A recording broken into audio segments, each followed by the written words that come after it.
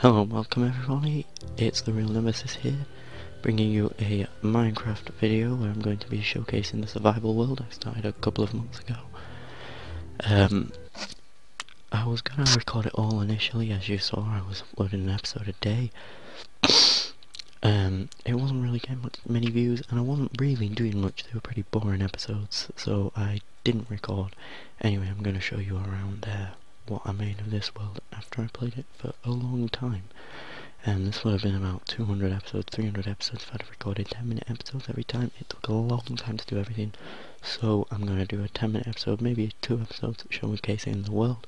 Then I'm going to carry on to fight the Ender Dragon and um, complete the game.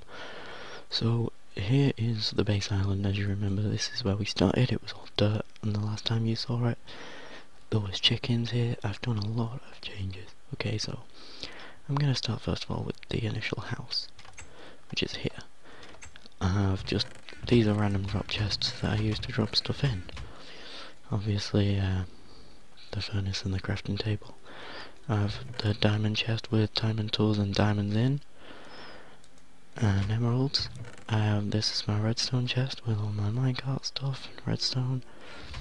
These are two other random drop chests and my anvil obviously. So I go upstairs to here which is where I've got the bed and two little chairs I made.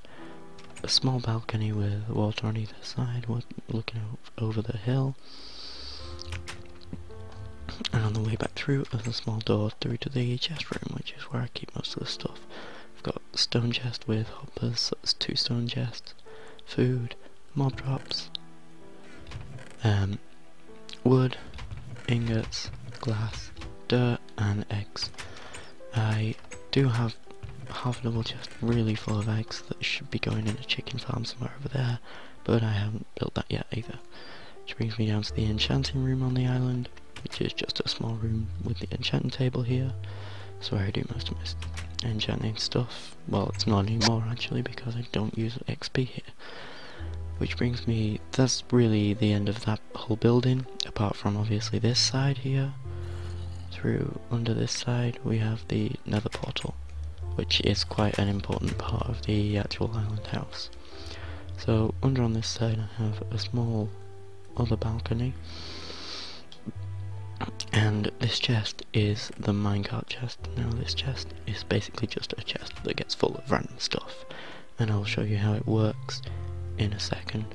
I have this brewing room up here where I do all the brewing, along with all my brewing ingredients. I have this small fountain that I made out of glowstone.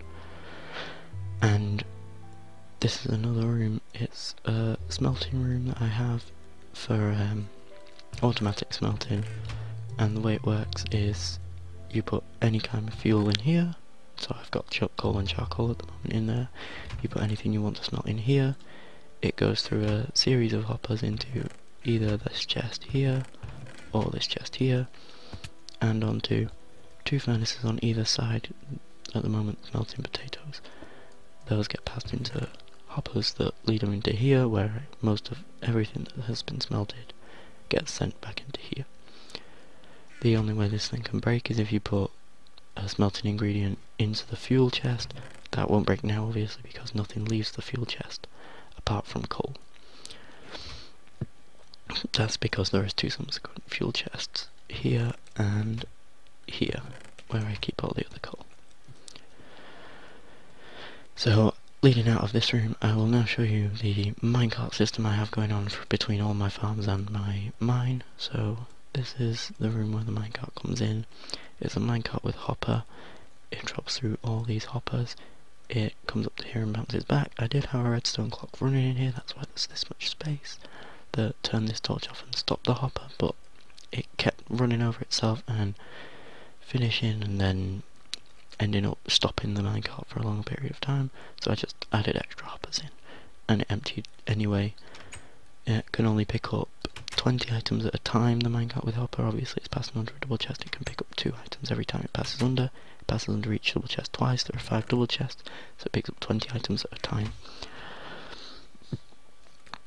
Um, which brings me to my two farms. I have a potato farm which harvests about two stacks of potatoes when replanted, and the same amount of carrots in a carrot farm.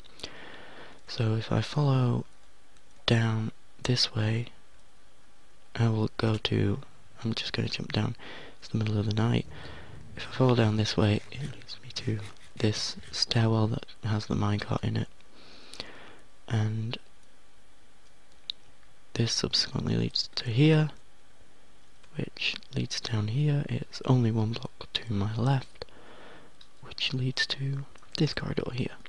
The minecart runs all the way down here. Hopefully we'll see it running. It usually is most commonly seen running along this track here. It runs all the way down here and it picks up from the farm chest. It picks up from this chest, which is a sugarcane farm chest, a small sugarcane farm chest. Here it comes. There it is it picks up from this chest here, which is a netherwart farm chest, which I need to take all of this stuff up. It picks up from this chest, which is just a drop chest for general stuff. It still comes all the way down this hill here, and picks up from this bottom chest, which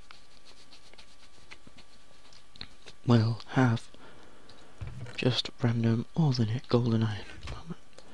So Obviously now I head all the way back up. I'm not going to take the minecart because it bounces against itself and it does take... It can be used for transport if you take the hopper one off. Um, I prefer not to use it for transport because I don't like using it for that kind of method. I do have an end portal nearly complete to finish to get to the end. That is down in a fortress underground down about nearly a thousand blocks in the direction I'm running, so I'm not going to go there this episode because I have other things to show you. I have built an... I could actually do that at the bottom of the cave, that would make my travels much faster, but um... Anyway, I might I might do that next episode. But anyway, back to showcasing, obviously I still have the ladder that goes up the uh, up the wall to the island and back here. So I'm gonna now take you to the across the bridge back towards the farm and I'm gonna run over towards where I have another spawner. I do have plans to get some kind of transport across to this um, this mob spawn trap. It's a skeleton spawn trap and I have plans to get the transport across to there, but I haven't done anything yet. I don't have enough gold to make minecart everywhere, so at the moment I'm looking for gold, and if I'm facing the Ender Dragon I need golden apples, so I need to save gold for that. Um, and apart from mining, my best source of gold is actually going to the nether and killing as many pigmen as, as I can, and then coming back, and they're not really spawning near where my nether building is. So that's awkward. But if I follow this line of torches here, um, I don't actually need this line of torches now, but they're still here because they were being placed down on the way back from when I first found this mob spawn. But if I follow my line of torches just over this hill, you will see that there is some more stone brick building here, just into the side of this wall. And it was literally just pointing out there's an enderman there and I could do with killing him, so I'm going to. He's teleported away before I could look at him. That's just great. I have a small drop just there. And obviously, as you just heard, here is the spawner in a room that goes down here. Lifts them up and puts them back here again, where I can kill them. And the way I've set it up is so that hoppers will actually pick up the drops and drop them into this chest here.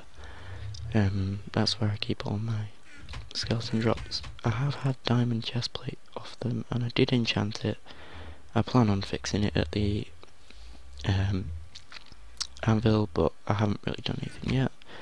Down here I have another small enchanting room just for if I need to do quick enchantments from getting the XP from the farm. If a skeleton does get stuck on the top, I just jump up to where he can see me through that little gap and then walk to the side. He will follow me back. That is the alarm for 10 minutes.